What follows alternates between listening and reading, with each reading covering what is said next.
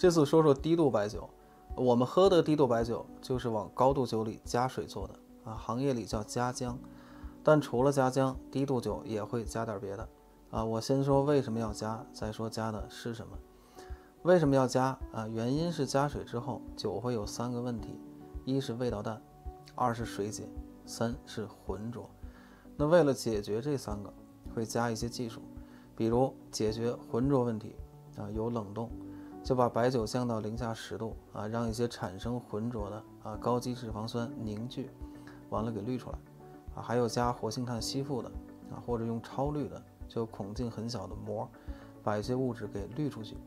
那这些技术有个问题，就是滤出去之后，白酒的一些香气成分也一起被滤掉。所以往后行业里慢慢就有了增溶剂。增溶剂这个省事儿，就直接加进去啊，就能把一些析出的啊浑浊的物质给溶解了啊，不用花钱再弄过滤设备，也不会影响香气。那浑浊问题解决完了呢，又有新问题，就是加水之后味道淡了，所以呢低度酒还会用一些酒头酒尾来调味，味道调好了又有新问题，就是水解。呃，低度白酒是水占主导啊，比如三十八度的，三十八度的意思就是乙醇容量比啊，比如三十八度的一百毫升酒里有三十八毫升的乙醇，这酒就是三十八度，那剩下的基本就是水。那这种酒因为水占主导，所以呢，酯化是向着水解的方向进行。具体就是成箱的酯类会在水的作用下啊，慢慢的往酸啊醇的方向生成。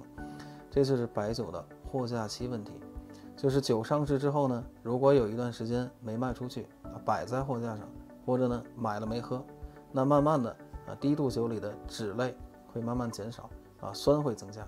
这样酒就不好喝啊，会有水味儿啊，味道寡，发酸，所以有的酒会往里加阿拉伯胶。阿拉伯胶是一种稳定剂啊，可以减缓水解。再往后呢，行业里研究又发现，光照对水解有加速作用，而且无论酒度，所以呢，很多注意细节的酒厂啊，做梅河的光瓶酒，为了防水解，就不全在用透明的玻璃瓶。啊，比如蓝八啊，瓶子是蓝的，啊，大曲酿是茶色的，呃，高博西凤是绿色的。那总的来说，白酒加水降度之后，啊，酒体原来的成分平衡被打破，就会有浑浊啊、味道淡和水解的问题。好一些的酒厂在处理上会严格一些。那我觉得喝白酒粗看啊，还是喝高度的更靠谱。懂白酒，上白酒园。